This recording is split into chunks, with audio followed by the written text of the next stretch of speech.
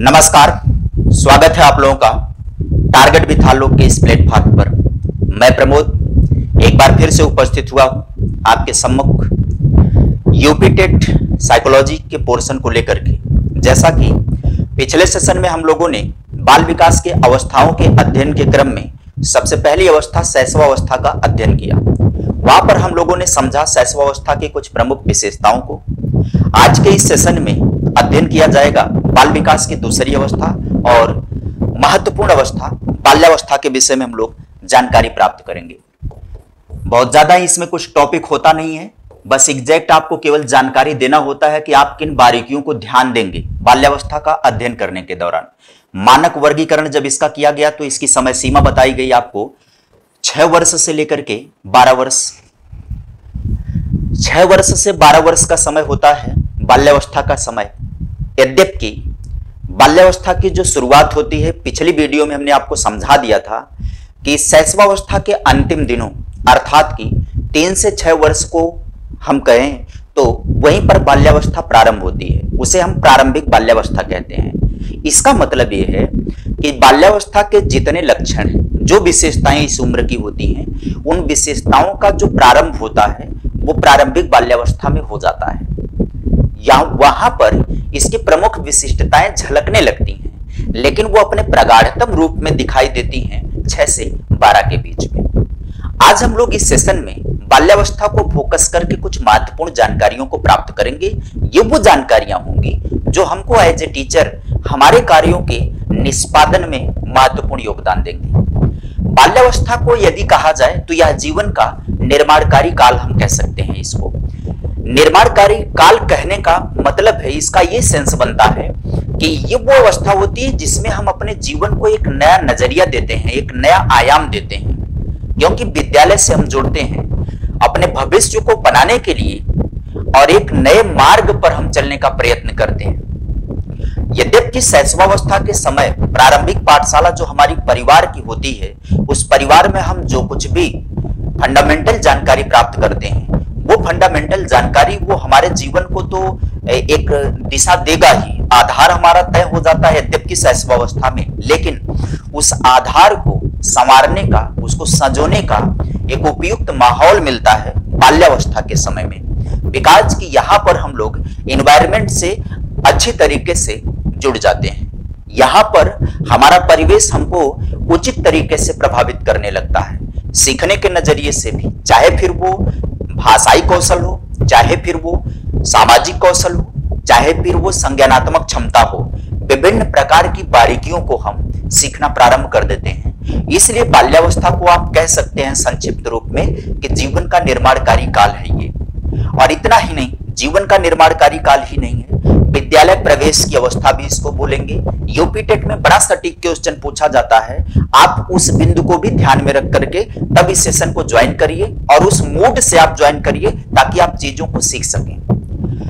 Pre विद्यालय अवस्था, यानी कि जिसको प्री स्कूल एज बोला जाता है। एक प्रश्न ये पूछा करता है प्री स्कूल एज कौन है? यानी कि विद्यालय में प्रवेश की पूर्व अवस्था कौन सी होती है? जब ये प्रश्न पूछे, तब आप वहाँ पर उम्र को सही करिएगा तीन से छह वर्ष। क्योंकि यहाँ पर विद्यालय जाने की जो अनुभूति है, वो बच्चे के मस्तिष्क में उत्पन्न होने लगती है। 2020 की जो शिक्षा नीति आई है 19-20 की, इसको इसीलिए प्री स्कूल एज को ही देखते हुए, इसके लक्षणों को ही देखते हुए, तीन से छह वर्ष के बच्चों को भी स्कूल में प्रवेश से संबंधित मुद्दे को प्रस्तुत किया गया है। आंगनबाड़ी केंद्रों में इन बच्चों को एंट्री करवा करके बॉडी लैंग्वेज इनका इस तरीके का विकसित करवा दिया जाए ताकि वो छह से बारह की अवस्था में जब जाएँ तो पूरी तरीके से स्कूली माहौल में ढल जाएँ। तो प्री स्कूल एज होता है तीन से छह, लेकिन स्कूल एज कौन होता है? छह से बारह, यानी कि बाल्यावस्था। तो जब आपसे ये प्रश्न पूछे कि विद्यालय की अवस्था कौन सी अवस्था होती है तो वह आप इसको सही करिएगा। तो पहला पॉइंट इसका हमने समझा दिया कौन सा? लिखते चले आपको, ताकि क्लियर होता चले। पहला जो पॉइंट बाल्यावस्था में हमारे समझने लायक है, वो पहला पॉइंट हम लोग समझेंगे। पहला पॉइंट जीवन का निर्माणकारी काल। हम बहुत संक्षिप्त रूप में लिख रहे हैं ताकि आपका क्लियर होता रहे। जीवन का हम इसको कह सकते हैं निर्माणकारी काल। निर्माणकारी काल क्यों? उसकी व्याख्या हमने कर दिया। दूसरा पॉइंट हम इसको ले सकते हैं जीवन के निर्माणकारी काल के बाद विद्यालय की अवस्था। आप इसको बोल सकते हो, विद्यालय की अवस्था। विद्यालय की अवस्था, विद्यालय की अवस्था, विद्यालय इसी वर्ष में बालक प्रवेश कर लेता है। और इसके साथ साथ एक तीसरी अवस्था भी हम इसको कहेंगे खेल कूद की अवस्था। खेल कूद की अवस्था। ध्यान रखिएगा, खिलौने की अवस्था नहीं। खिलौने की अवस्था जब भी पूछे, प्रारंभिक बचपन चले जाइएगा। लेकिन खेल कूद की अवस्था जब पूछे, तब आप बाल्यावस्था पर चले आइएगा। अब जब खेल कूद की अवस्था इसको कहेंगे तो सिंपल सी बात है, खेलने कूदने में वही बच्चा इंटरेस्टेड होगा, जिसके अंदर स्फूर्ति होगी। यानी कि जो स्मार्ट बालक होगा, वही बालक खेल कूद में इंटरेस्टेड होगा। तो स्फूर्त की अवस्था भी इसको बोलेंगे। स्फूर्त की अवस्था, यानी जिसमें बहुत ज़्यादा एनर्जी होती है। भाई खेलेगा, कूदेगा कौन? अपना बचपन आप याद करो। विद्यालय से छुट्टी हुई नहीं, कि तेज़ी से दौड़ते हुए घर की तरफ़ भागे। और कोई भी काम हो, तमाम प्रकार के खेलों में हम लोग अपनी शारीरिक स्फूर्ति को बचपन में दिखा चुके हैं। स्फूर्त की अवस्था होगी। तब जब खेल कूद और स्फूर्त की अवस्था होगी तो एक कंडीशन और बनेगी। एक कंडीशन वो कौन सी बनेगी? गंदी अवस्था। जीवन की गंदी अवस्था भी हम इसको कह सकते हैं। जीवन की गंदी अवस्था भी हम इसको कहेंगे। गंदी अवस्था क्यों कहेंगे? कि जब हम खेलने कूदने में ज़्यादा लिप्त रहेंगे तो साफ़ सुथरा थोड़ी नहीं रहेंगे। मिट्टी, धूल इत्यादि। अब के बच्चे तो थोड़े से जो नए दौर में आ रहे हैं, फोर स्पीड वाले बच्चे हम कह सकते हैं, या इस जनरेशन की कह सकते हैं, जो टेक्निकल जनरेशन के बच्चे हैं। टेक्निकल जनरेशन की जो मम्मियाँ हैं, बच्चे को गंदा कहाँ होने देती हैं?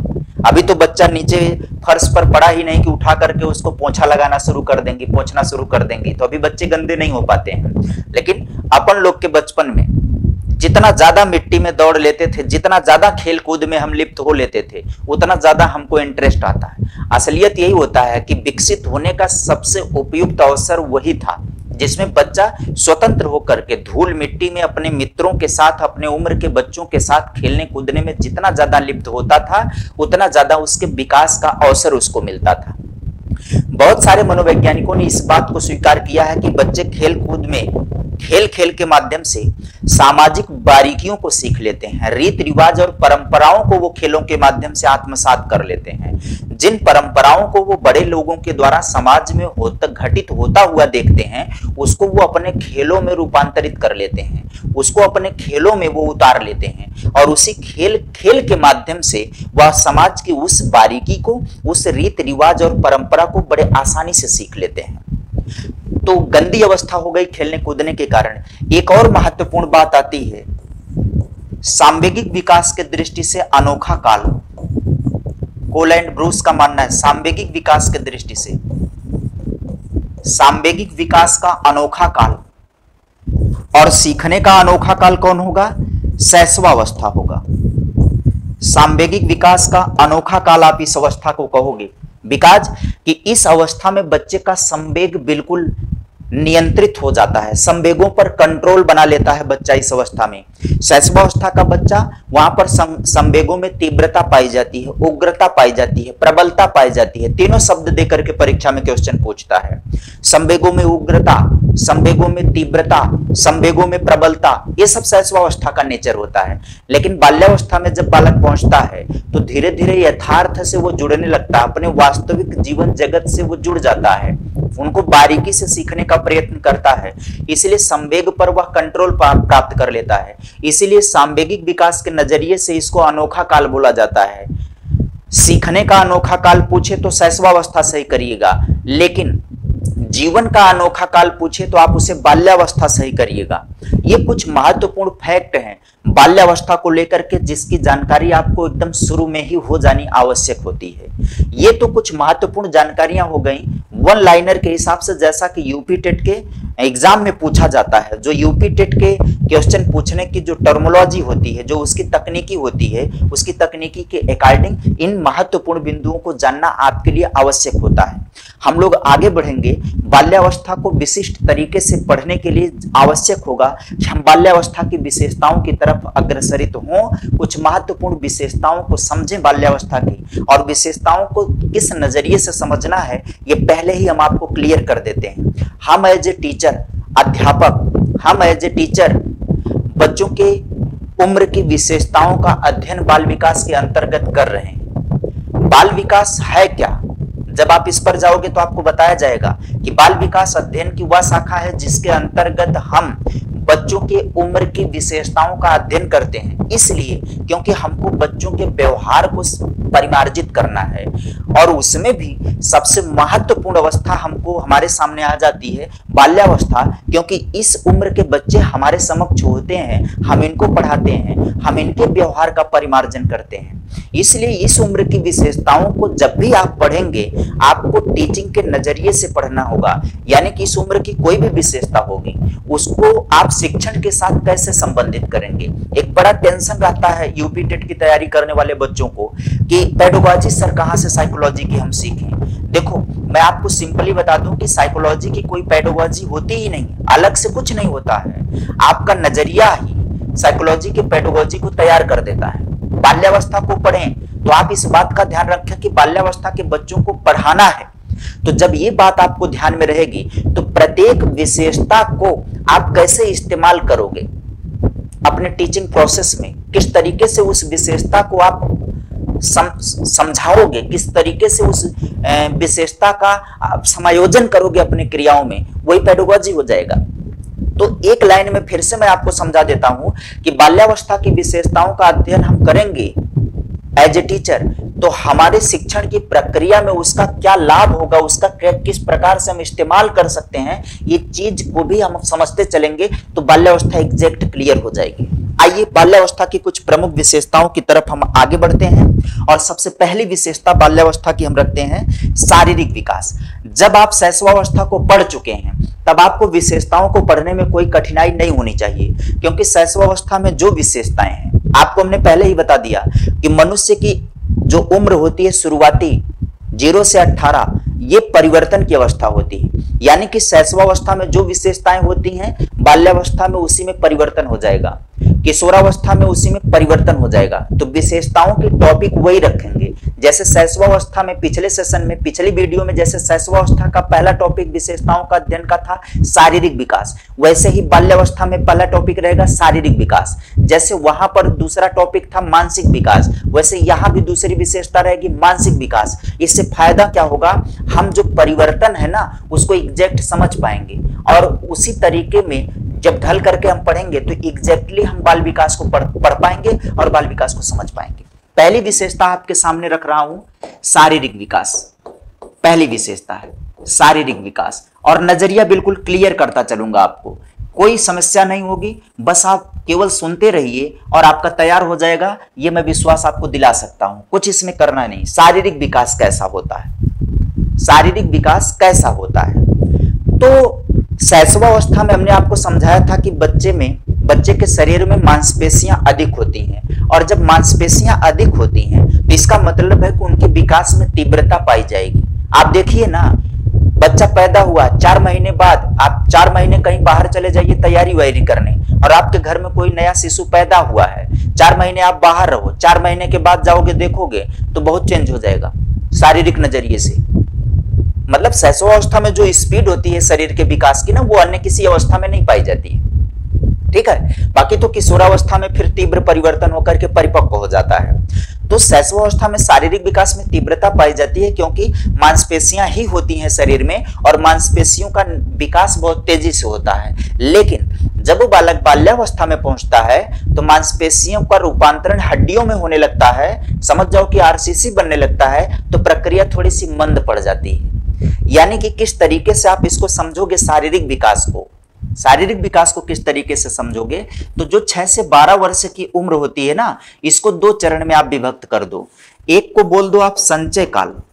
एक को आप बोल दो संचय काल। हाँ ध्यान रखना, संचयी काल की बात नहीं कर रहा हूँ, संचय काल।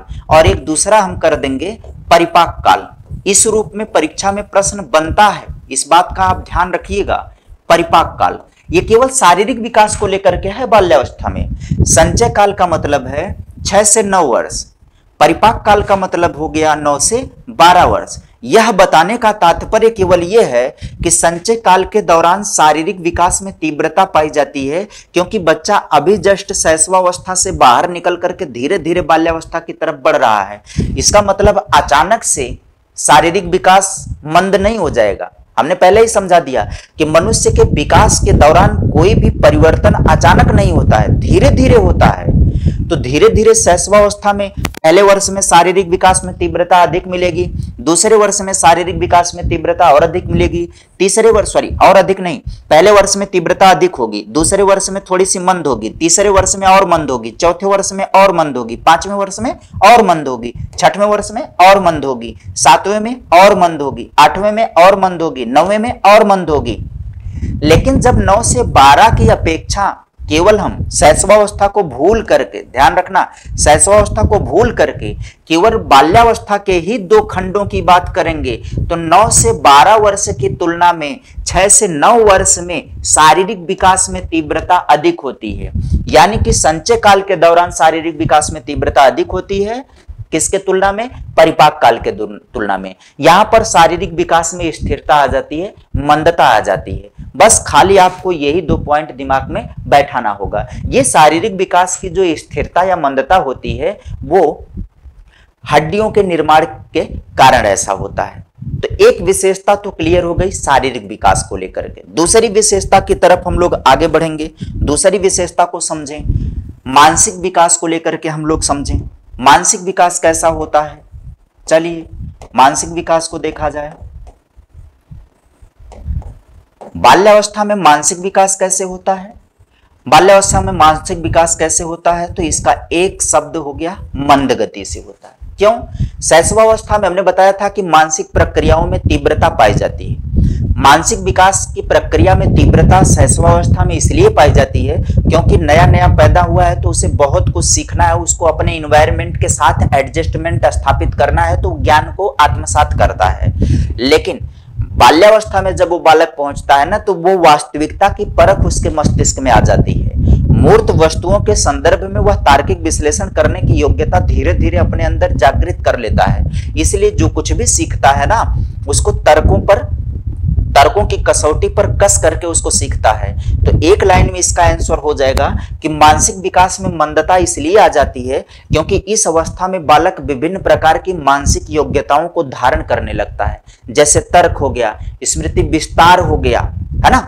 इस इस तरीके से विभिन्न प्रकार की मानसिक योग्यताओं के धारण करने के कारण मानसिक विकास की प्रक्रिया मंद हो जाती है। जैसे खाली गाड़ी दौड़ना और जगह जगह पर रुक करके सवारी उठाना, इन दोनों में फ़र्क होता है। दो गाड़ियाँ साथ में चलें, एक चलती रहे और एक बीच बीच में सवारियाँ बैठाती रहे तो ज़ाहिर सी बात है कि वो पीछे हो जाएगी। तो शैशवावस्था में जो मानसिक प्रक्रिया है ना, वो खाली गाड़ी के समान दौड़ता है। सीखते हुए, आकलन करते हुए, अवलोकन करते हुए आगे निकलता है। बाल्यावस्था में मानसिक विकास की प्रक्रिया में ना, सवारियाँ बैठती हैं। सवारियाँ कौन होती हैं? मानसिक सवारियाँ, मानसिक योग्यताओं की सवारियाँ। सिंपली। तीसरे पर हम चलते हैं। तीसरे को देख लेते हैं। सम, संवेग संवेग को लेकर के, अभी हमने आपको समझा दिया कि शैशवावस्था में सांवेगिक प्रबलता या उग्रता पाई जाती है, लेकिन बाल्यावस्था में संवेगों में स्थिरता पाई जाती है। कोल एंड ब्रूस का कहना है कि बाल्यावस्था सांवेगिक विकास के नज़रिए से जीवन का अनोखा काल होता है, क्योंकि यहाँ पर बच्चा अपने संवेगों पर कंट्रोल प्राप्त कर लेता है, नियंत्रण प्राप्त कर लेता है। इसीलिए रास ने इसको मिथ्या परिपक्वता का काल भी कहा है, क्योंकि जब संवेग इसके कंट्रोल में रहेंगे तो इसके अंदर चंचलता उस तरीके की नहीं पाई जाएगी जैसी शैशवावस्था में पाई जाती है। तो ये मेच्योर व्यक्तियों के जैसा व्यवहार करना शुरू कर देता है। मिथ्या परिपक्वता इसलिए इसको कहा गया है क्योंकि बालक अपने आप को मेच्योर समझता है, लेकिन बड़ों के नज़र में वो होता क्या है? बालक ही होता है। एक प्रकार के इदम की बात हो गई। इदम वो नहीं, मनोविश्लेषण फ्राइड वाला। ठीक है? ये इदम मिथ्या परिपक्वता से संबंधित हो गया। तो संवेगों के नज़रिए से ये नियंत्रित अवस्था होती है। संवेगों में स्थिरता की अवस्था होती है। अच्छा एक और विशेषता हम चौथी आपको समझाए थे शैशवावस्था में शैशवावस्था में बताए थे कि कल्पना की बहुलता पाई जाती है। कल्पना बाहुल्य अवस्था होती है शैशवावस्था लेकिन यहाँ कल्पना बाहुल्य अवस्था नहीं है। यहाँ बालक कल्पना लोक से उतर करके वास्तविक संसार से जुड़ता है। यानी कि वास्तविक जगत से संबंध स्थापित कर लेता है बालक। वास्तविक जगत से संबंध इस अवस्था में बच्चे का स्थापित हो जाता है। इसका मतलब यह है कि अब बालक कल्पना में ही नहीं जीना पसंद करता है। अपने इर्द गिर्द की विभिन्न प्रकार की वस्तुओं, व्यक्तियों, स्थान और घटनाओं के बारे में जानने का प्रयत्न करता है। सिंपल उदाहरण समझाएँ आपको। आप कोई नई वस्तु लेकर के आइए। नई वस्तु केवल लेकर के आइए और उसका ऐसे ही घर के बाहर बरामदे में कहीं भी रख करके कुछ ना कुछ उसमें आप कर रहे हो। मान लो टीवी खरीद करके लाए हो, आप कनेक्शन वनेक्शन कर रहे हो, कुछ भी कर रहे हो। शैशवावस्था का बच्चा क्या है ना, कि वो ज्ञान का सृजन करने के नज़रिए से देखेगा, केवल आपकी प्रक्रियाओं को देखेगा, बाकी कुछ नहीं करेगा। लेकिन जो बाल्यावस्था का बच्चा है, वो आपके काम में हाथ बटाने का प्रयत्न करेगा। क्योंकि उसकी, वो उसी प्रकार की प्रवृत्ति जागृत हो जाती है। वो अपने आप को मेच्योर समझ रहा है। और एक चीज़ और है एक एक बारीकी को वो जान लेने का प्रयत्न करेगा। टीबी लाए हैं तो कहाँ से लाए हैं? कितने की लाए हैं?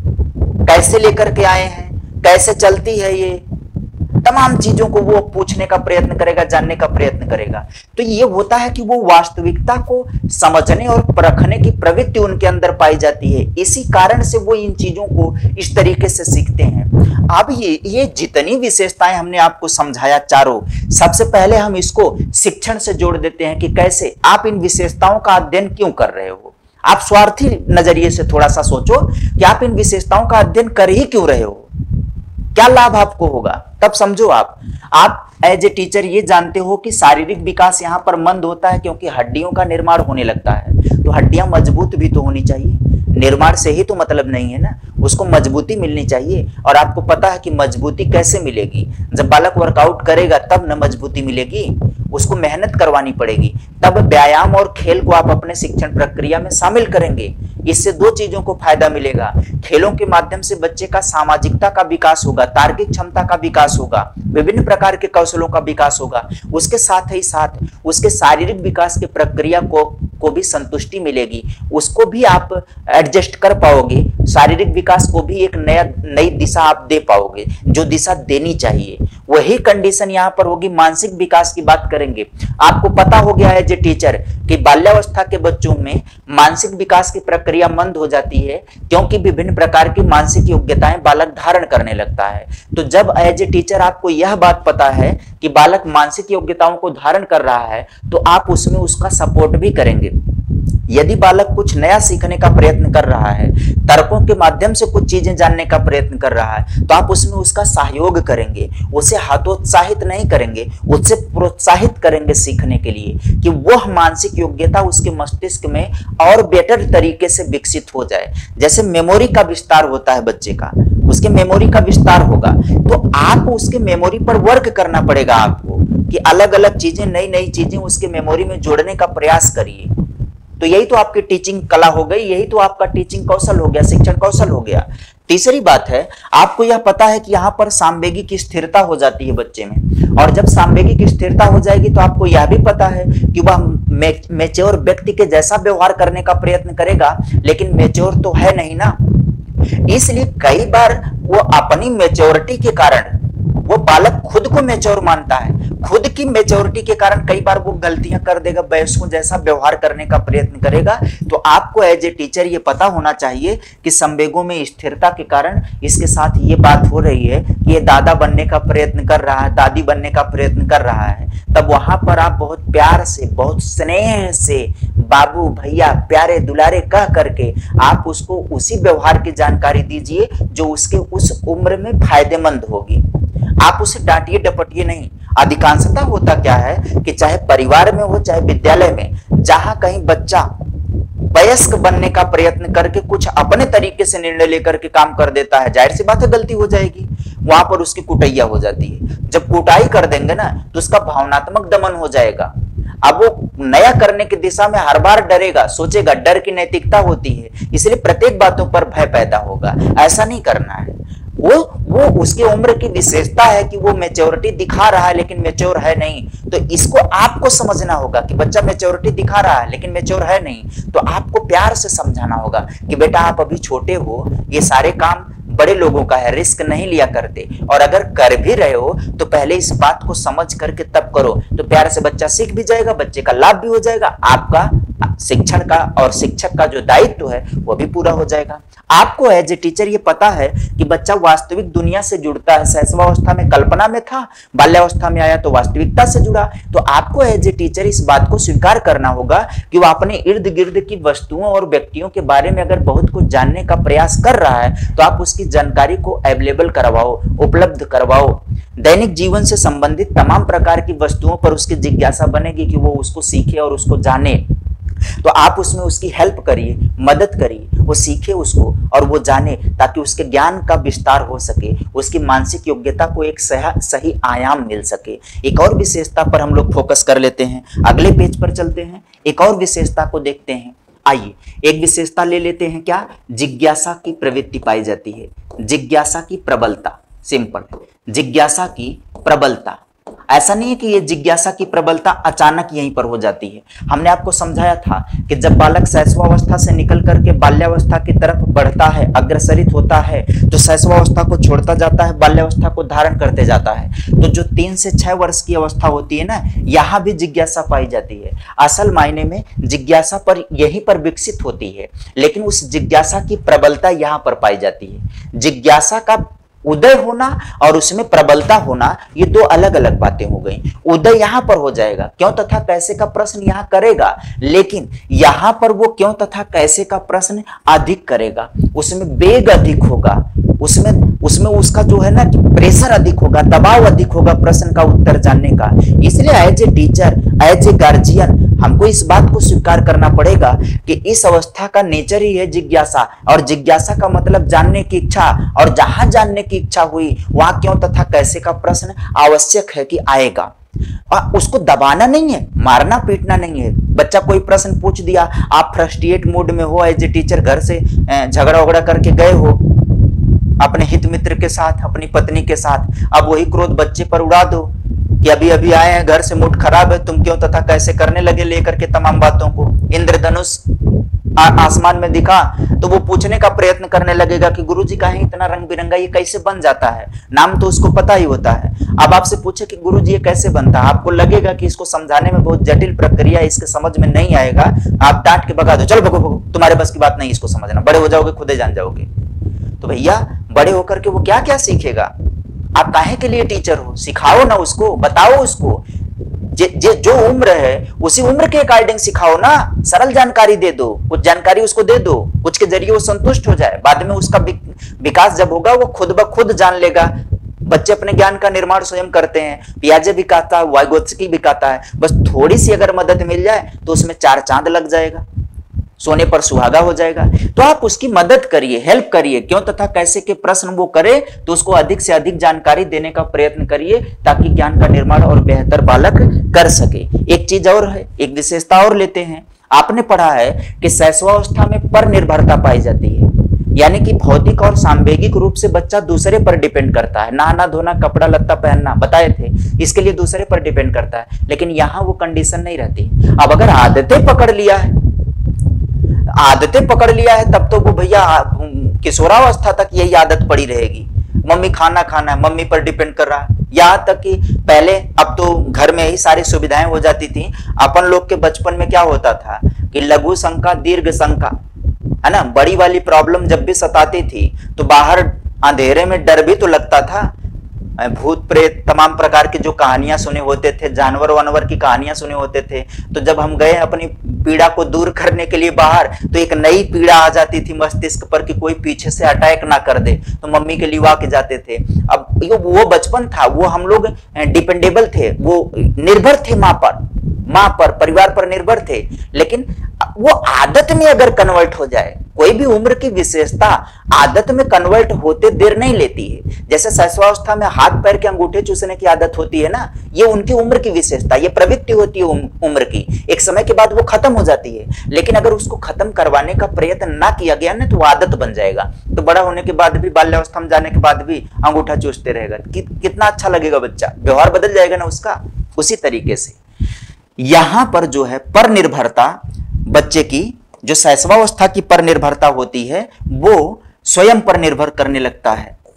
है ना? स्वयं पर निर्भर करने लगता है बच्चा आत्मनिर्भरता आप कह सकते हैं, या स्वयं निर्भर करने लगता है अपनी भौतिक तथा स्वनिर्भरता भी बोल सकते हैं। स्वयं पर निर्भर करने लगता है किसको लेकर के? अपने भौतिक और सांवेगिक आवश्यकताओं को लेकर के बच्चा स्वयं पर निर्भर करने लगता है। इसका मतलब है कि इस उम्र में बालक नहाना, धोना, खाना, पीना इत्यादि क्रियाएँ वह स्वयं से करने लगता है, अपने आप से करने लगता है। इसके लिए वो किसी पर डिपेंड नहीं करता है। ठीक है? तो ये ये तो प्रमुख विशेषताएँ कुछ हो गई इस तरीके की। कुछ एक और विशेषताएँ जो इस अवस्था में पाई जाती हैं, हम लोग उस पर चलेंगे। एक विशेषता महत्वपूर्ण होती है, रचनात्मक प्रवृत्ति पाई जाती है इस अवस्था में। इस अवस्था के बच्चों में रचनात्मक प्रवृत्ति पाई जाती है। रचनात्मक प्रवृत्ति। रचनात्मक प्रवृत्ति। रचनात्मक प्रवृत्ति का मतलब होता है, रचना का तात्पर्य होता है निर्माण से। इस अवस्था के बच्चों में ना क्रिएटिविटी विकसित हो जाती है कोई ना कोई। प्रत्येक बच्चे में क्रिएटिविटी पाई जाती है। उसी क्रिएटिविटी का निखार किसी में अधिक हो जाता है, किसी में कम होता है। जैसे कोई संगीत में कुछ गाना गुनगुनाना, नाचना इत्यादि जानता है, कोई कलाकारी में जानता है, कोई कुछ जानता है, कोई कुछ जानता है। रचनात्मक प्रवृत्ति बच्चों में पाई जाती है। इसलिए विभिन्न प्रकार की वस्तुओं के निर्माण की दिशा में भी ये सोचते हैं। पतंगे बनाना गुड्डे गुड़िया बनाने लगना, कुछ न कुछ खिलौने बनाने लगना, इस तरीके का नेचर बच्चे और बच्चियों में पाया जाता है। ठीक है? बच्चे और बच्चियों में इस तरीके का नेचर पाया जाता है। एज ए टीचर जब हम ये जान रहे हैं कि बाल्यावस्था के बच्चों में रचनात्मक प्रवृत्ति पाई जाती है तो उस रचनात्मकता को विकसित करवाने का अवसर विद्यालय में मिलना चाहिए। मिलना चाहिए कि नहीं मिलना चाहिए? इसलिए आपके कक्षा शिक्षण में वो विधियाँ भी शामिल होनी चाहिए, जिन विधियों से बच्चों के रचनात्मक प्रवृत्ति का विकास हो सके। जैसे कोई बच्ची सिलाई कढ़ाई की दिशा में यदि है तो ये अब इतनी उम्र में ये सारी बारीकियाँ तो नहीं सिखाई जा सकती हैं, लेकिन जितनी हो सकती है, आवश्यक जितनी हो सकती है, जितना आपसे हो सकता है, उतनी रचनात्मकता के विकसित होने का अवसर विद्यालय में ज़रूर उपलब्ध करवाएँ।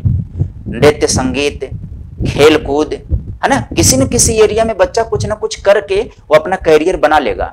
इसलिए रचनात्मकता को विकसित होने का अवसर ज़रूर देना चाहिए। एक और विशेषता पाई जाती है, संग्रह प्रवृत्ति पाई जाती है। संग्रह प्रवृत्ति पाई जाती है इस अवस्था में।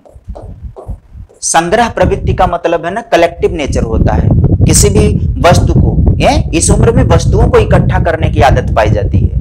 आप अपना याद करो बचपन, कि पेन खत्म हो गई है। घर के बड़े भैया भाभी, जो जो लोग भी पढ़ने वाले हैं, दीदी, भैया, कोई भी पढ़ने वाला है, वो जो पेन खत्म कर देते थे लिख करके ना, अगर वो फेंक देते थे तो अपन को बुरा लगता था। उस कलम को भी उठा करके हम रख लेते थे। कापी, किताब, चाहे जिसकी मिले, उठा करके अपने बैग में रखना, पत्थर, कंचा जो गोली खेलते थे, उसको मतलब जितनी वस्तुएँ संग्रहित हो जाए, वो सारी वस्तुएँ रख लेते थे। बच्चियाँ क्या करती थी? बड़ी दीदी का मम्मी का किसी का भी जो कपड़ा होता था, दुपट्टा उपट्टा जो वो लोग इस्तेमाल करना बंद कर देती थी, बच्चियाँ उसको इकट्ठा कर लेती थी अपने तरीके से और खेल खेल में उसी तरीके से सज समझ सज संवर करके उसका इस्तेमाल करती थी। ये बालू जब गिरता था तो बालू में चिकना चिकना पत्थर आता था बचपन में। देखो, वो पत्थर हम लोग बालू में घुस घुस करके निकाल करके इकट्ठा करते थे। दीपावली पर दीप जलते थे उन दीप को इकट्ठा करने की एक आदत पाई जाती है कि सुबह चार बजे उठ जाना, दीप को इकट्ठा कर लेना दीप, उस दीपक से फिर तराजू बना लेना, क्या, खेलने कूदने के लिए वो उसका इस्तेमाल तुरंत कर लिया जाता था। तो ये कलेक्टिव नेचर बच्चों में पाया जाता है। एज ए टीचर आप इसको क्यों जान रहे हो? कि बच्चों में संग्रह प्रवृत्ति पाई जाती है बाल्यावस्था में। इसलिए आप जान रहे हो, क्योंकि इस प्रवृत्ति के कारण बच्चा चोरी भी कर सकता है। इस प्रवृत्ति के कारण बच्चा चोरी भी कर सकता है, क्योंकि बच्चा चाहता है कि उसके पास तमाम तरीके की वस्तु हो, उसके लिए आवश्यक होती हैं जो। तो वो बगल वाले के बाक्स से पेन भी चुरा सकता है, उसके कॉपी किताब भी चुरा सकता है, उसके खिलौने भी चुरा सकता है। कुछ भी चोरी करने की प्रवृत्ति यहीं से विकसित होने लगती है, अगर ध्यान नहीं दिया गया तो। और आपको समझना होगा कि ये संग्रह प्रवृत्ति क्या दिशा दे सकती है बच्चे को। तो इसलिए संग्रह प्रवृत्ति इस अवस्था के एक प्रमुख स्वभाव में पाया जाता है। एक चीज़ और है यहाँ पर, भ्रमण की प्रवृत्ति पाई जाती है। इस अवस्था में भ्रमण की प्रवृत्ति पाई जाती है, घूमने फिरने की जिसको कह सकते हैं। भ्रमण प्रवृत्ति पाई जाती है। अनावश्यक रूप से घूमने फिरने की। है ना? ये इत, मतलब ये इतना अपने आप को मुक्त बना देना चाहते हैं कि पूरी दुनिया का चक्कर लगा करके सब कुछ जान लेने का प्रयत्न करते हैं। और ये जो उम्र होती है ना घूमने फिरने की जो स्वभाव होता है ये सामान्यतः नौ से दस वर्ष में अधिक होता है। नौवें दसवीं वर्ष में घूमने फिरने की प्रवृत्ति सर्वाधिक विकसित होती है। इससे पहले भी पाई जाती है। अब तो विद्यालय में संसाधन है। प्रत्येक संसाधन है, अपनी प्राकृतिक पीड़ा को दूर करना है तो उसको बाहर नहीं जाना है। विद्यालय में सारी सुविधाएँ उपलब्ध हैं। पहले के टाइम में जो परंपरागत शिक्षण व्यवस्था चलती थी, वहाँ पर ये व्यवस्थाएँ नहीं उपलब्ध हो पाती थी। अपने लोगों के बचपन की बात कर रहा हूँ। जब आप बचपन में पहुंचोगे, चीज़ों को याद करोगे तो साइकोलॉजी और आपकी तैयार होगी। तो गुरु जी को उंगली दिखा करके, एक उंगली दिखा करके छोटा काम करने जा रहे हैं गुरु जी दो उंगली दिखाए तो बड़ा काम करने जा रहे हैं। इधरिया वाले से दिखाते थे, कितने लोग जाएँगे? ये भी करते थे। कि बड़ा काम करने तीन लोग जा रहे हैं। अकेले में तो होगा नहीं। कहे कि मज़ा नहीं आएगा। वहीं से धीरे से कल्टी मार लेते थे। कहीं पुलिया हो गया, कहीं बाग हो गया, कहीं पोखरा हो गया, कहीं भी तालाब हो गया। वहीं जाकर के कुछ देर इंटरटेन कर रहे हैं, मस्ती कर रहे हैं, घूमने कर रहे हैं। तो घूमने फिरने की प्रवृत्ति के कारण बच्चा अनावश्यक रूप से समय व्यतीत करता है, समय को बर्बाद करता है। कक्षाएँ छोड़ करके विद्यालय से बाहर निकल जाने का प्रयत्न करेगा। इस बात को एज ए टीचर आपको समझना बहुत आवश्यक है। इसलिए आवश्यक है कि आप जानो कि घूमने फिरने की प्रवृत्ति इस अवस्था में पाई जाती है। यह एक अवस्था का प्रमुख स्वभाव होता है। इसलिए समय समय पर स्काउटिंग का भी आपको ध्यान रखना पड़ेगा। आप बच्चों को भ्रमण पर ले जाएँगे। दो फ़ायदा आपको हो जाएगा। एक तो इनके घूमने फिरने की प्रवृत्ति का तुष्टिकरण हो जाएगा। दूसरा, जिस स्थान पर ले जाएँगे, वह भौगोलिक और ऐतिहासिक नज़रिए से महत्वपूर्ण स्थल होगा। तो बच्चों को अपने देश के गौरवशाली इतिहास के विषय की जानकारी भी प्राप्त हो सकती है। उसके भौगोलिक स्थल की विशेषताओं की जानकारी बच्चे को प्राप्त हो सकती है। तो इस इस प्रकार से बच्चा सूक्ष्म से सूक्ष्म जानकारियाँ प्राप्त कर लेगा अपने भौतिक जगत से, अपने भौतिक दुनिया से। तो ये प्रवृत्ति हो गई, एक प्रकार की भ्रमण करने की प्रवृत्ति भी हो गई। दूसरी बात हम करेंगे, एक और विशेषता की बात करेंगे, सामाजिक विकास की बात करेंगे जब सामाजिक विकास तो इसको हमने शैशवावस्था में यही समझा दिया था कि शैशवावस्था के प्रारंभ में सामाजिकता नहीं पाई जाती है बच्चे में। प्रारंभ में शिशु ना तो सामाजिक होता है, ना ही असामाजिक होता है। लेकिन जैसे जैसे वो शैशवावस्था से बाल्यावस्था की तरफ़ बढ़ने लगता है, उसमें सामाजिकता का विकास होने लगता है, क्योंकि वह ग्रुप बनाने लगता है, समूह से जुड़ने लगता है। ये ग्रुप बनाने की अवस्था की शुरुआत तीन से छह में हो जाती है। ये प्री गैंग एज यहाँ हो जाती है। यहाँ वह खेलने कूदने के नज़रिए से गैंग बनाने लगता है, लेकिन बाल्यावस्था में आकर के वह पूरा एक बेहतर गैंग बना लेता है और किशोरावस्था में उस गैंग का वो सक्रिय सदस्य बन जाता है। इस तरीके से आप गैंग को समझो। ये प्री गैंग एज बाल्यावस्था है, गैंग एज। किशोरावस्था गैंग का सक्रिय सदस्य हो जाता है। यानी अब उसके गैंग के प्रत्येक सदस्य उसको प्रभावित करने लगते हैं, पहनावे से भी खान पान से भी। तो यहाँ पर बाल्यावस्था में बच्चा समूह बनाता है। इसलिए एक और विशेषता आप कह सकते हो, सामूहिक प्रवृत्ति की भावना होती है। यानी कि समूह बनाने की प्रवृत्ति का विकास हो जाता है बाल्यावस्था के बच्चों में। ये समूह में खेलना कूदना पसंद करते हैं। तो आप इस बात को समझेंगे एज ए टीचर उस समूह बनाने की प्रवृत्ति को आप टीचिंग मेथड में अप्लाई कर दीजिए। समूह शिक्षण विधि से आप उनको करिए, उनको ग्रुप बनवाइए। और ग्रुप में ही खेल खेल कूद करवाइए और ग्रुप में ही शिक्षण करवा दीजिए। तो सामूहिक प्रवृत्ति की जो भावना होगी, उसका भी तुष्टिकरण हो जाएगा और उसको आप अपने इस्तेमाल में भी ले लोगे। और आपको ये पता है कि सामाजिक विकास यहाँ पर जब समूह बनेगा तो सामाजिक विकास होने लगेगा। इसलिए समूह में बांट करके बच्चों को सामाजिकता के विकास से संबंधित क्रियाओं को करना होगा। ऐसे नाटक करवाने चाहिए, ऐसी कहानियाँ उनको समूह में सुनानी चाहिए, जिसमें बच्चे की नैतिकता का डेवलपमेंट हो सके और उसके सामाजिकता का भी विकास हो सके। इन दोनों को भी उपयुक्त अवसर मिले। और एक अंत में विशेषता हम लोग समझ लेंगे, काम प्रवृत्ति की भावना। काम प्रवृत्ति की भावना यहाँ पर क्या होती है? शून्य हो जाती है। जो शैशवावस्था में काम प्रवृत्ति होती है, वह प्रबल रूप में होती है। प्रबल रूप में होने का मतलब है कि उस तरीके की काम प्रवृत्ति नहीं पाई जाती है, जैसा बड़ों में पाया जाता है। यहाँ की काम प्रवृत्ति जो होती है ना शैशवावस्था की, उसके कारण वह माता के स्तनपान करता है, विभिन्न प्रकार की वस्तुओं को उठा करके मुख में रखने का प्रयत्न करता है, अपने ही हाथ पैर के अंगूठों को चूसने का प्रयत्न करता है। वो जो काम प्रवृत्ति शैशवावस्था में होती है, वो यहाँ पर शून्य हो जाती है। यानी कि काम प्रवृत्ति के नज़रिए से यह अवस्था शून्य अवस्था होती है। पुनः किशोरावस्था में काम प्रवृत्ति की भावना जागृत हो जाती है। तो ये कुछ महत्वपूर्ण परीक्षा में पूछी जाने लायक विशेषताएँ हमने आपको बाल्यावस्था की समझा दी है। आप प्रीवियस ईयर के पेपर उठाइए, वैसे हम प्रैक्टिस करवाएँगे तो क्वेश्चन ये सब रखेंगे।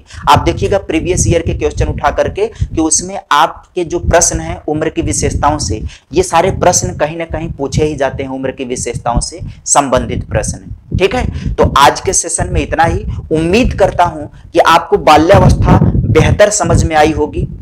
और आप जब सेल्फ स्टडी करेंगे तो आपकी हेल्प हो जाएगी कि बाल्यावस्था को आप एग्जैक्ट समझ पाओगे। आप हमारे यूपी टेट बैच से जुड़ना चाहते हैं तो आपके वीडियो में नीचे डिस्क्रिप्शन का लिंक दिया हुआ है। वहाँ किस तरीके से बैच में आप जुड़ सकते हो, उसकी डिटेल जानकारी दी गई है। स्क्रॉलिंग में जो नंबर चल रहा है, उस नंबर से आप संपर्क करेंगे तो भी आपको बैच से जुड़ने से संबंधित जानकारियाँ प्रदान की जाएँगी। बहुत बहुत धन्यवाद। नमस्कार।